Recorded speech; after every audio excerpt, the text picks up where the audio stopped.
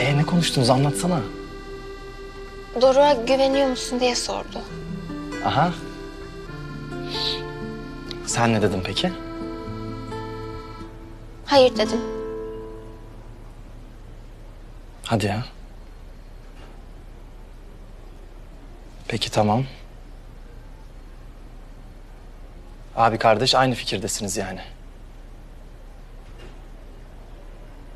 Ben daha fazla rahatsızlık vermeyeyim o zaman.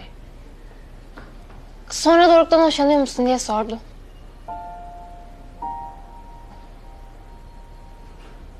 Ben de evet hoşlanıyorum dedim. Ne dedin ne dedin? Duydun. Hayır duymadım. Uçak geçti. Gayet duydun Doruk. Bir daha söyleyeceksin yoksa bırakmam seni. Hayır. Duymadım. Duymadım. Hayır. Bir daha söyleyeceksin.